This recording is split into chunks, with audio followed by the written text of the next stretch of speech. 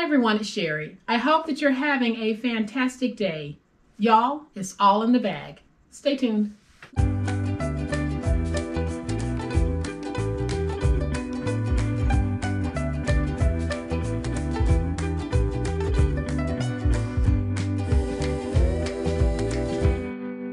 Welcome to my channel. I am so glad that you decided to stop by and spend a portion of your day with me. And a big thank you to everyone who is supporting my channel in any positive way.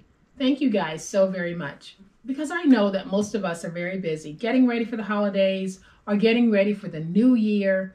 I am not going to take up much of your time today because this is what we're going to be making. It is going to be the simplest bag.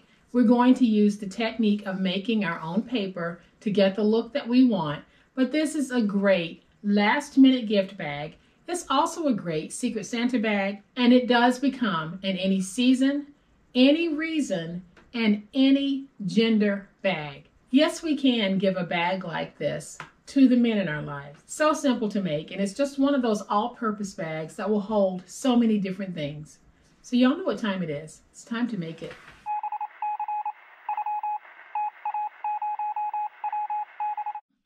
All right, guys, so here is a closer look at today's sweet little project. It is so adorable, and we're going to use the technique of creating our own paper to get this look because we're going to be working with wrapping paper. When finished, our bag is going to be six by three by five. And the reason why I like bringing projects like this to you guys is because we can take this and transfer it to any season that we want and it's so economical to do because with wrapping paper, you know, the sky is the limit. So here is what we're going to need to make it. I am going to be using one piece of the 11 by 14 inch poster board that I get from the Dollar Tree. Now, if you don't have poster board, you can join two pieces together to create your 11 by 14 inch piece. And then I'm going to be using this red and white polka dotted wrapping paper. Now this wrapping paper came in a trio set with this and there was one more pattern in the set. So you had this beautiful whimsical combination of red and white and stripes, polka dots, and plaids, making for a beautiful combination if you wanted to create a gift set with these. So basically what I've done is I have cut out enough wrapping paper to be able to cover that poster board. So if you use a piece of wrapping paper that is 15 by 12, that is going to cover your poster board. Now I have applied adhesive to the back of this using my Xyron Creatopia because that will apply adhesive to pieces that are up to 12 inches wide. The Xyron Creatopia is no longer sold on the market. However, from time to time, you can find them available on eBay and on Craigslist. The refill cartridges are always sold on Amazon, so I haven't found a time when I haven't been able to get a replacement cartridge. So if you don't have a machine that will apply adhesive to the back of your paper, you can do it by applying strips of tape from top to bottom. You can also do it by using a spray adhesive. Just make sure that if you're spraying the adhesive, they spray outdoors because you don't want to inhale those toxic fumes. I would not use glue on this because this is a very large piece and your glue might cause some warping. I'm going to flip this over, remove that backer sheet, and hopefully you guys can see that sticky is on there. I'll take this and I'm just going to place it down. And then I'm going to use my big old spatula to make sure I get everything nice and stuck and to iron out any air bubbles that might be there.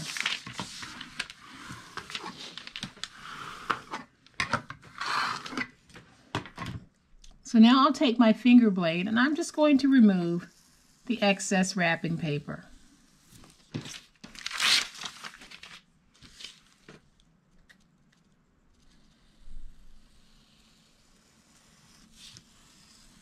So now I have my own beautiful 11 by 14 inch piece I can work with. If I wanted to, I could actually run this back through the Xyron and put the polka dots on the inside as well. but I'm okay with the inside of this bag being white. So I am going to bring in my scoreboard and we're going to score and at five and a half. Then we're going to rotate it to the opposite end and we're going to score at half an inch and at five and a half.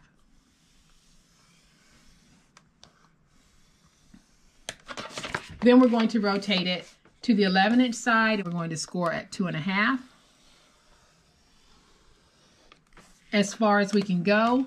Then I'm just going to flip it, score at two and a half to meet that original two and a half inch score. Then I'll rotate it this way to the opposite 11 inch side, score at two and a half, and then I'll flip it again score at two and a half to meet that original two and a half inch score. So now we can just fold and burnish our scores.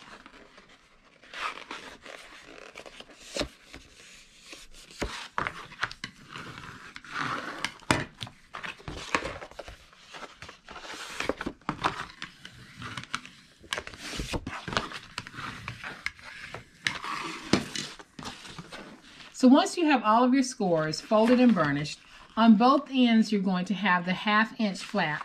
We are going to go to the score mark and we're just going to angle a little bit on both of these.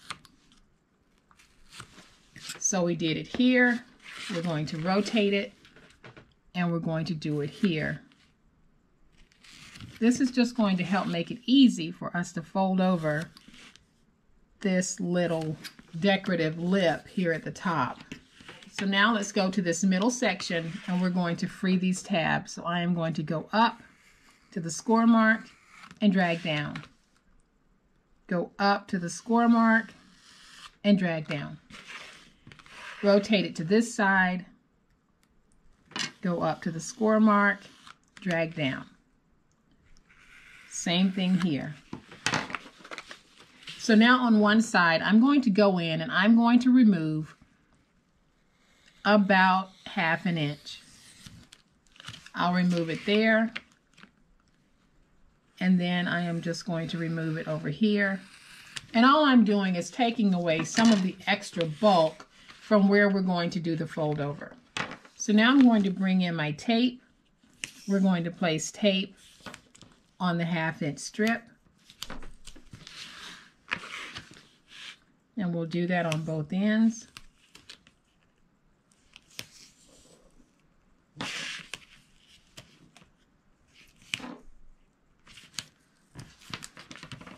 Then on the end where you have the widest panel, we're going to take tape and place it on the inside.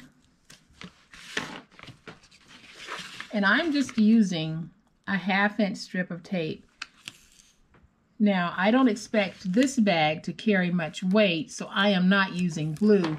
If I was going to be putting something heavy in it, I would use glue on this, but for this type of a bag, I'm probably just going to tuck in some goodies. You can put those fuzzy socks in here if you want, but I would probably fill this with some homemade fudge or caramel squares, something like that. So now we're going to flip it over, and this time we're going to place our tape on the outside edge. And I'll do that over here as well.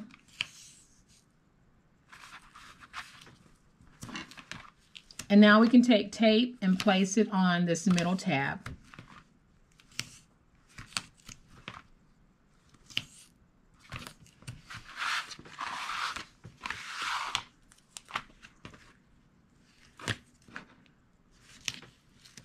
And I'll use my bone folder to make sure that all of my tape is nice and stuck.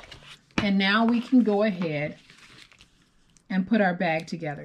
So I'm going to remove the tape backer from the end where I trim down the side panels.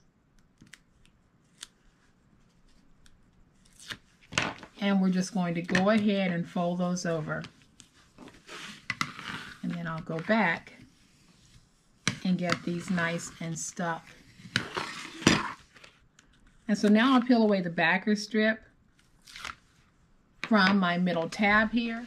And then I'm going to take this piece and we're just going to join it right there at the bottom.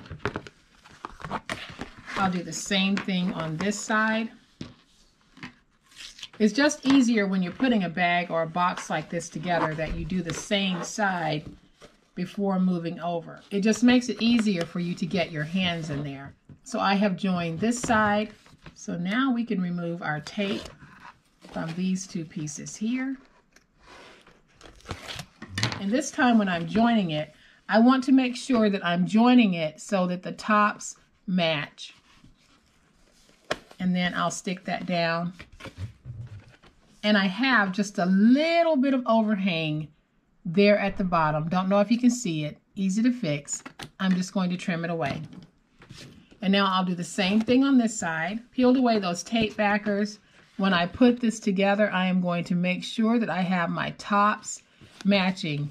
And by tops matching, I mean the score mark here is aligned here. So now I'm going to peel away the tape backer from this piece and I'll fold it in peel away the backer from this long piece, fold it in, and peel away the backer from this piece, fold it in. And I'll use my big old spatula to make sure I have everything nice and stuck. And there we have our sweet little bag. And all we need to do at this point, I am just going to take my finger and start my pinch point happening. Because I am going through some thick poster board and I want to make sure I have it pinching in properly. So now that I've done that, I'm just going to take my other fingers and run it down the side just to kind of get that paper ready to be folded in and then I'll pinch, squeeze at the top, and then you're able to squeeze down as far as you want to go. And there is our beautiful little bag. I am going to take my two inch oval punch. And guys, I believe I bought this punch at Tuesday morning a while back, but it's just a two inch oval. And I'm going to punch my hole and I'll try to line it up on this side and punch. And so now I have my holes punched in my beautiful red polka dotted bag. And so now it's just a matter of how do I want to dress this bag. And I think I'm going to use some of my Anna Griffin holiday stickers that came in her holiday Christmas box. She does one every year. And I'm going to place that right there then it also contains some holly. I'm going to take the holly and I'm going to place my holly like this. Now this might not be the standard direction for holly, but it is going to work for me on this project. And then finally, I'm going to go to my little sticker book and find a sweet little sticker that I can use. And I like this one that says Merry Christmas. So I'm going to take it and tuck it in just like that. And I think that is such a festive bag.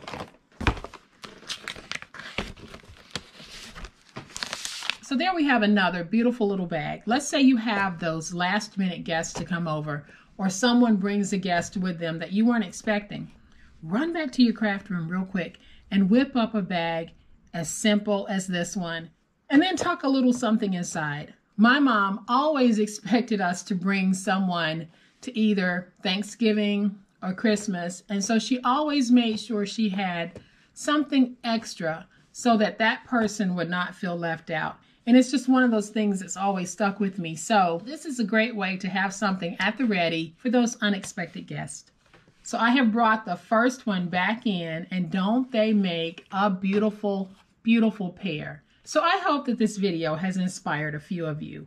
If it has, please hit that like button. If you are not a subscriber to my channel, I would love to have you join this amazing online crafting family. You guys, as always, please be safe, be kind, happy crafting, and we'll chat later. Bye.